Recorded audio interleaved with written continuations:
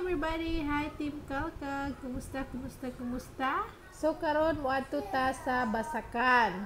Actually, dugay na nako na siya gi-video pero karon pa jud nako na edit og karon pa nako i-upload. So sa inyong makita diri ah, gagmay pa ang mga humay pero karon dagko na na siya. Sa katong wala pa nakakita sa kumbana so mao na siya yahang dagway. Guwapo. Gwapo na akong bana oy sa DI.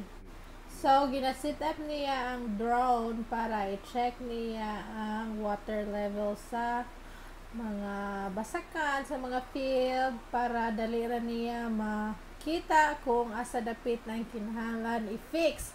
So, mo ni siya pinakadali o pinaka-efficient way to check your rice field.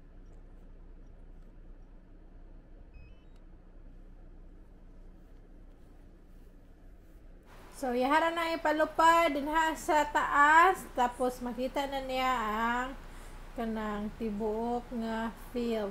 So, naniyo na siya pag work smarter, not harder. So, kung wala pa mo nakabalo, ang amo ang tanom is humay o mga soybeans. So, ang farming diri sa Amerika is murag layo ra jud kayo sa Pilipinas.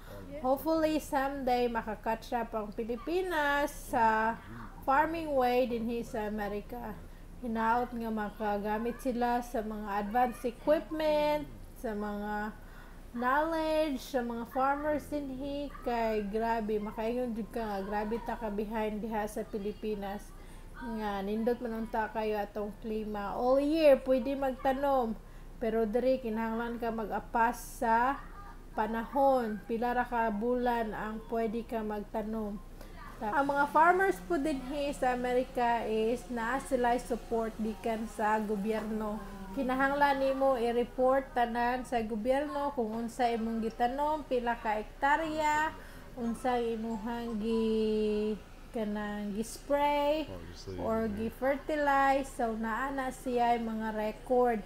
Tapos, naapod na siya insurance. Kinahanglan na adyo insurance before ka mag sugod og tanom, kinahanglan nimo na siyang i-insured kay para og naay bagyo or naay hailstorm, naay mo cover sa imuhang loss. So dili jud ka all the way nga mapurdoy.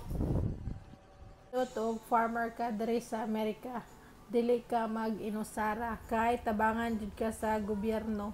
So pag niya og check, nakita niya sa drone kung asa niya adtoon ang mga na wash out nga kanang pilapil. Pilapil may tawagan na niya sa ato. So adtoon na na niya para ayuhon para dili ma-wash out or maayo ang pagpatubig sa humay.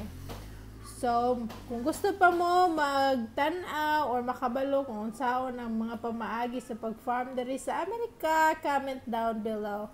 And try na ako mag-upload.